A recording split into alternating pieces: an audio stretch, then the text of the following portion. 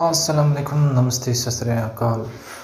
आज 8 मार्च 2021 आज मैं आप दोस्तों के साथ सऊदी अरबिया की कुछ ताज़ा तरीन खबरें शेयर करने जा रहा हूँ। सबसे पहले बात करेंगे सऊदी एयरपोर्ट और आरामको के रिहायशी इलाकों पर ड्रोन मिज़ाइल से हमला।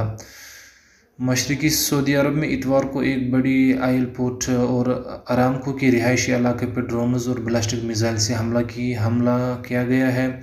अरब न्यूज़ के मुताबिक सऊदी वज़र तवन ने एक बयान में कहा है कि रास तनवीरा आइलपुट की एक बड़ी पेट्रोलियम टैंक फार्म पर इतवार की सुबह ड्रोनों से हमला किया गया है। रास तन तनवीरा दुनिया की बड़ी आयल शिपिंग पोर्ट में से एक है। बयान में कहा गया कि हमलेवर ड्रोन समंदर के समित से आया था, जबकि इतवार की शाम ब्लास्टिक मिज़ाइल का एक टुकड़ा जहरान में वाक़ सऊदी अरामको के रिहायशी आला के करीब गिरा, जहाँ कंपनी के मकामी और गैर मुल्की मुलाजमीन और इनके अहल खाना रिहायशी पजीर थे।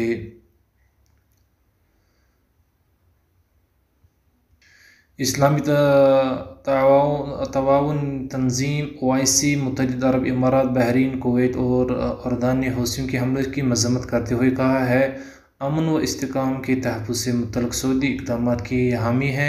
अरब पार्लियामेंट ने भी हौसियों के हमले की मजम्मत करते हुए सऊदी अरब से यकजहती का इजहार किया। है तजारती पर्दापोशा का ख़ात्मा और गैर मुल्कियों के लिए सरमाकारी का लाइसन सऊदी अरब में वजार तजारत की जानब से ममलिकत में मुकीम ऐसे गैर मुल्कियों की तजारती अमूर को कानूनी शक्ल देने के लिए कानून में की जाने वाली तरमीम के हवाले से बेशतर अफराद को कहना है कि इससे ममलिकत में जहाँ तजारती पर्दापोशी का खात्मा होगा, वहाँ मुल्की मीशत में भी इस्तेकाम आएगा।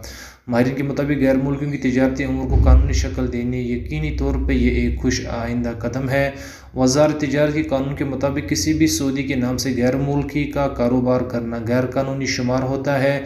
ऐसे करने पर सख्त सज़ा मुकर की गई है।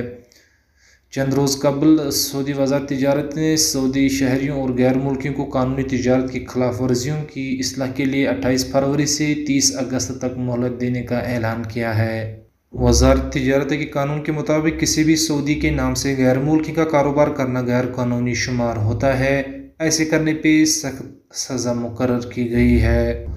गवर्नर हाइल के अहदे में चार बरस की तोसी खादमिन हरफिन शाह सलमान बिन अब्दुलज़ीज़ ने गवर्नर हाइल शाहजादा बिन अब्दुलज़ीज़ बिन साद के अहदे में चार बरस की तोसी का शाही फरमान जारी किया है। सऊदी खबर साल इदारे एस पी ए के मुताबिक शहजादा अब्दुलज़ीज़ बिन साद का तकरीर बाईस अप्रैल दो हज़ार सत्रह को किया गया था। उन्हें गवर्नर हाइल बदरज वज़ीर मुकर किया था। शहजा बिन अब्दुलज़ीज़ बिन साद दो हज़ार से लेकर दो हज़ार सत्रह तक हाइल के नायब गवर्नर रहे हैं। वो हाइल डेवलपमेंट अथॉरिटी के डिप्टी चेयरमैन की हैसियत से भी खदमत अंजाम दे रहे थे। कोरोना मरीज़ सामने आने पर मजीद चार मसाजिद आर्जी तौर पर बंद। सऊदी वजरत इस्लामी अमूर व दावत व रहनुमा ने सऊदी अरब की तीन इलाकों में चार नमाजियों की कोरोना वायरस में मुबतला हो जाने पर मजीद चार मसाजिद इतवार को आर्जी तौर पर बंद की है। गुजशत अट्ठाईस रोज़ के दौरान दो सौ अट्ठाईस मसाजिद बंद की जा चुके हैं। इनमें से दो सौ अठारह मसाजिद को सैनिटाइजिंग और हिफान सेहत के इंतज़ाम मुकम्मल होने पर बहाल कर दिया गया है। सबक वेबसाइट के मुताबिक वजारत इस्लामी उम्र का कहना है कि इतवार को जो मसाजिद बंद की गई है, इनमें से दो का ताल्लुक मक्का मुकरम रीजन से है। यहाँ हर मस्जिद में एक एक करोना का मरीज़ रिकॉर्ड पर आया था, जबकि एक मस्जिद अलगसीम और एक रियाज में बंद की गई। यहाँ भी कोरोना का एक एक मरीज़ नमाजियों में था। वजारत इस्लामी उमूर ने बयान में यह भी बताया है कि इतवार को दस मसाजिद बहाल कर दी गए हैं। इनमें से तीन का ताल्लुक रियाज रीजन, दो का अलगसीम, दो का मदीना मुनवर दो का हदूद शामिल और एक का असी रीजन से है। गैर मुल्की वर्कर्स के लिए प्रोफेशन टेस्ट का आगाज़ पीर से शुरू किया जाएगा। सऊदी वजारती अफराधी कोद व समाज बहबूद अहमद अर्राजाई ने गैर मुल्की वर्कर्स की प्रोफेशन टेस्ट का प्रोग्राम बाकायदा ऐलान किया है। इसका मकसद ये जानना कि आए सऊदी अरब में बरसर रोज़गार, हुनरमंद, मतलूब पेशेवराना सलाहियत के मालिक है या नहीं, इस टेस्ट का मकसद सऊदी लेबर मार्केट की पेशेवराना मायर को बेहतर बनाना है। वजारत अफराधी क़वत का कहना है कि पहला मरहला इकतदारी होगा, इसकी शुरुआत आठ मार्च दो हज़ार इक्कीस से होगी।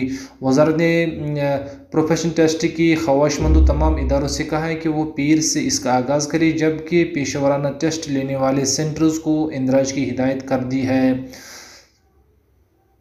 इसके ज़रिए ये पता लगाया जाएगा कि हुनरमंद में अपनी पेशे की तकाजा पूरा करने के लिए बुनियादी इस्तेदाद मौजूद है या नहीं, इस हवाले से हर हुनरमंद का इसके शोबे के हवाले से नज़रियाती इम्तहान होगा और प्रैक्टिकल टेस्ट भी लिया जाएगा। वजारत अफराधी क़वत के ज़राए ने मज़ीद बचाया कि सऊदी अरब में पेशा हुनरमंद की वीज़ा पर बहुत से ऐसे अफराद पहुँचे हुए हैं जो सही मानों में हुनरमंद नहीं है। वजारत अफराधी क़वत ने तमाम इदारों से अपील की है कि वो अंदरूनी मुल्क मौजूद हुनरमंद का टेस्ट शुरू कर दें। जुलाई 2021 से पेशा वराना टेस्ट तहरीरी तौर पर लाजिम कर दिया जाएगा सऊदी अरब में। मामूलत ज़िंदगी की बहाल बहाली के लिए कोरोना वैक्सीन ज़रूरी है। वजारत सेहत, सऊदी वजारत सेहत डॉक्टर तोफ़ी राबी ने कहा है कि मामूलत ज़िंदगी के बहाली के लिए कोरोना वैक्सीन बहुत ज़रूरी है।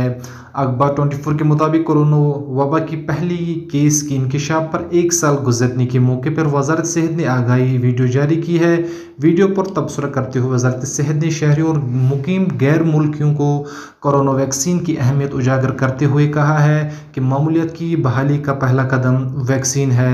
हर शख्स को पहला कदम उठाना चाहिए ताकि माशरे इस वबा से महफूज हो जाए।